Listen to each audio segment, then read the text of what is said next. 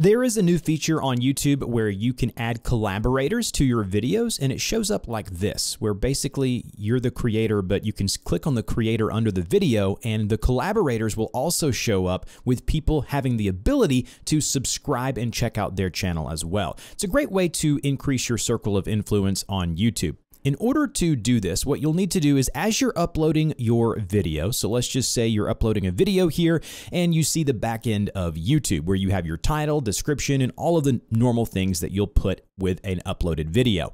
If you scroll down as you continue to upload the video, you are going to see an option here that says collaboration. You'll see a button that says manage or add collaborators. If we click into manage or add collaborators, you can actually search for a channel. So in this case, let's just search for my other YouTube channel, which is this channel here. You find it, you click on it, and then you can either give them viewing of the analytics by checking this box or not by keeping it unchecked, and then just create the link.